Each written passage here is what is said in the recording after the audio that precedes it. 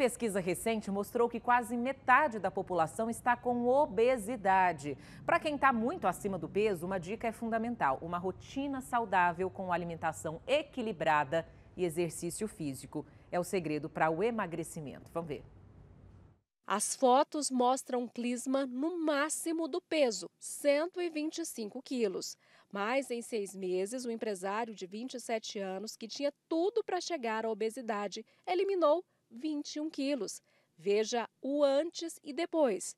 O resultado positivo não teve remédio.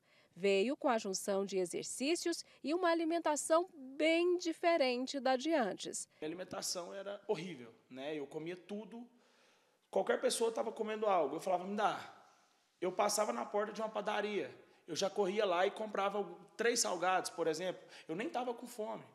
Só que mesmo assim eu comia por comer. Para sair disso e ter a virada de chave, demorou. Mas agora é constante. Eu olhei para o espelho um dia e falei assim: chega, cansei. E as pessoas falavam muito e eu não acreditava. Falava, ah, o gordinho, ah, gordinho, ah, você está muito gordo. Só que quando a gente está nesse processo, quando a gente está realmente gordo, não vemos isso, a gente não vê.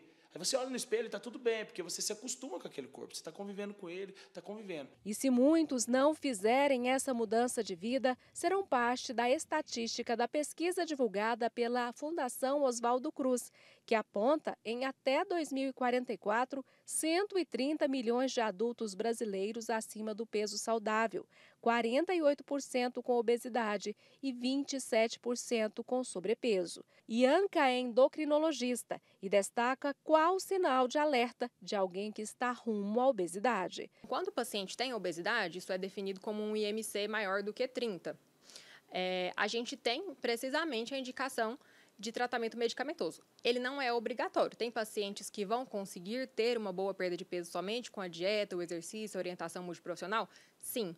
Mas a obesidade ela é, ela é uma doença e ela tem que ser encarada como tal. A médica lembra ainda das várias complicações que a obesidade traz. Disfunção dos hormônios sexuais causada pela obesidade. Isso pode acontecer tanto no homem quanto na mulher, e aí ter problemas para fertilidade, síndrome dos ovários policísticos relacionados a isso. Klisman tenta ajudar pessoas que estão com sobrepeso ou obesas mostrando a rotina na internet. Acredita que se ele conseguiu, todos podem, se realmente tiverem o propósito de emagrecer, não só pela aparência, mas também pela saúde. Meu joelho dói, meu corpo dói, mas mesmo assim eu não parei. O dia que eu não consigo ir correndo, eu vou andando. Se eu não conseguir andando, eu vou devagarzinho, mas eu vou. A meta é sempre ir. Uma rotina que ajuda o Clisma nesse processo é ter comida de verdade sempre à mão. Por isso, ele organiza tudo que vai comer durante a semana, para não ter brecha, por exemplo, para pedir um fast food ou então comer comida industrializada. Hoje, antes de comer, eu olho e penso: será que eu preciso? Se eu comer isso, quantos quilômetros eu vou ter que correr para queimar o que eu estou comendo agora? Aí eu penso, nossa, já estou com preguiça de correr, então não vou nem comer. Eu penso assim, eu sempre faço essa conta, coloco na balança e equilibro tudo da minha vida hoje. O interessante é que seja uma pessoa ativa, do ponto de vista de atividade. É, qualquer tipo de atividade física é bem-vinda, então pode escolher um esporte, alguma atividade física que gosta.